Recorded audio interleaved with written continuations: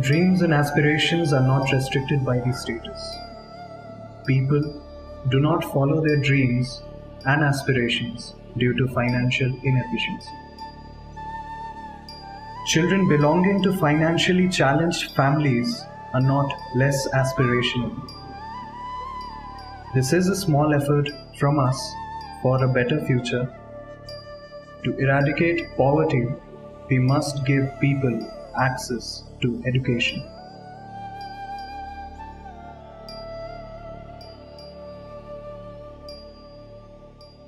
ನನ್ನ ಹೆಸರು ನಾಗವೇಣಿ ನಾನು ಮುಂದೆ ಇಂಜಿನಿಯರಿಂಗ್ ಮಾಡಬೇಕು ಅಂತ ಇದ್ದೀನಿ ನಮ್ಮ ಮನೆಯಲ್ಲಿ ಅಂದರೆ ನಮ್ಮಮ್ಮ ನಮ್ಮಮ್ಮ ಒಬ್ಬರೇ ಎಕನಾಮಿಕ್ ಆಗಬೇಕು ನನಗೆ ನಾಲ್ಕು ಜನ ಇರೋದು ನಮ್ಮಮ್ಮಗೆ ಅದರಲ್ಲಿ ಹೆಣ್ಮಕ್ಳು ಸಾಕಬೇಕಂದ್ರೆ ತುಂಬ ಕಷ್ಟಪಡಬೇಕಾಯ್ತು ಅದರಿಂದ ಅವರೇ ನನ್ನ ಮನೆ ಜವಾಬ್ದಾರಿ ಹೇಳ್ಕೊಬೇಕಂದ್ರೆ ನನಗೆ ಆಗುತ್ತೆ ನನ್ನ ಹೆಸರು ನಿಧಾಂತಿ ಅಂತ ನಾನು ನನ್ನ ಸೈನ್ಸ್ ಮಾಡ್ತಿದ್ದೀನಿ ನನಗೆ ಫ್ಯೂಚರಲ್ಲಿ ಐ ಎ ಎಸ್ ಆಫೀಸರ್ ಆಗಬೇಕು ಅನ್ನೋದು ನನ್ನ ಚಿಕ್ಕ ವಯಸ್ಸಿಂದ ನಂಗೆ ತುಂಬ ಆಸೆ ಈಗ ಪಾರ್ಟ್ ಟೈಮ್ ಆಗಿ ಬಿ ಎಸ್ ಸಿ ಮಾಡಬೇಕು ಅಂತ ಪ್ಲ್ಯಾನ್ ಮಾಡಿದ್ದೀನಿ ಬಿ ಎಸ್ ಅಲ್ಲಿ ಆಪರೇಷನ್ ಟೆಕ್ನಾಲಜಿ ಇಲ್ಲಾಂದರೆ ಬಿ ಎಸ್ ಸಿ ಪ್ಯಾಥಾಲಜಿ ಮಾಡಬೇಕು ಅಂತ ನಾನು ಈಗ ಇಂಟ್ರೆಸ್ಟ್ ಇಟ್ಕೊಂಡಿದ್ದೀನಿ ನಮ್ಮ ನಮ್ಮ ಮನೆಯಲ್ಲಿ ಆ, ನಾವು ನಾಲ್ಕು ಜನ ಅಂದರೆ ನಾನು ನಾನು ನನಗೆ ಇನ್ನೂ ಎರಡು ತಂಗಿ, ಒಂದು ತಮ್ಮ ಇದ್ದಾರೆ ನಮ್ಮ ಫ್ಯಾಮಿಲಿಯಲ್ಲಿ ನಾನೀಗ ಫಸ್ಟು ಅಂದರೆ ಸೆಕೆಂಡ್ ಯು ಲೆವೆಲ್ ಬಂದಿರೋದು ಅದರಿಂದ ಅವ್ರನ್ನ ಇನ್ನೂ ಇರೋ ಮೂರು ಜನನ ನೋಡ್ಕೊಬೇಕಾಗಿರೋದು ಎಲ್ಲ ಕೆಲಸ ನನಗಿರೋದ್ರಿಂದ ನಾನು ತುಂಬ ಒಳ್ಳೆ ಪರ್ಸೆಂಟೇಜ್ ತಗೊಂಡು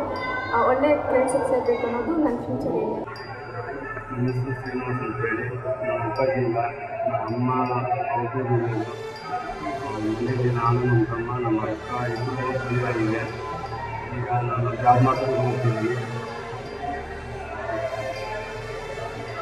bloqueei, né? Já bloqueei. Entendeu, Matheus? Sim, espera. Entendeu,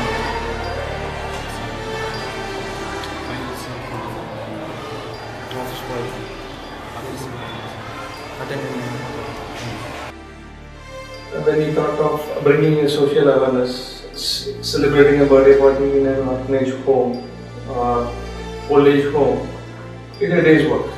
So we thought of providing the students with the free video classes so that it's a step ahead towards their dream aspiration.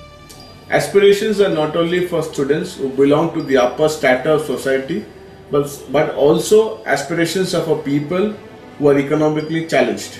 MAAC is glad to help them.